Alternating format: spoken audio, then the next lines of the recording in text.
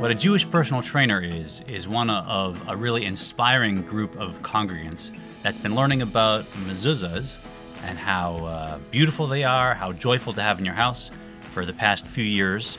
And they have a free handwritten kosher scroll to go in any of your mezuzahs. That's a gift from the Lois and Fred Howard Fund. Whether you're uh, one of the families that has kids in the ECC or just someone that's called and would like to have a mezuzah in your house, they'll show up and they have a little activity they do that I think brings people into the meaning of what a mezuzah is. And I'm really proud of the group of people. So each one of them has their own unique way of teaching uh, what we've shared about the beauty and the real joy that comes with a mezuzah.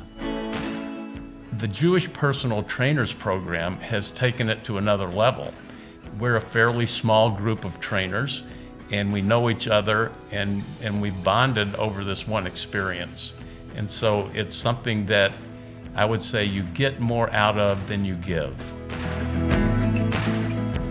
The most important moment of the day for an adult is that moment before they enter the house to stop and pause and to really reflect on how they want to enter.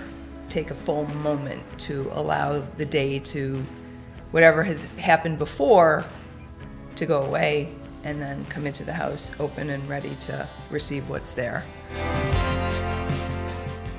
Kids like it because it gets them involved. At first, when you walk in the door, you know, you got all different, situations when you walk in. When you're able to to speak to them in their terms, and like I said, say the words that they've they've uh, identified with here at Temple, they are typically really excited if we can hang them on the doorpost of their bedroom door because it really gets them engaged and they feel special.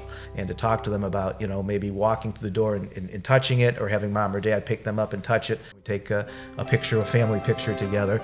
It really becomes like a, um, a real, real Kodak moment for the family.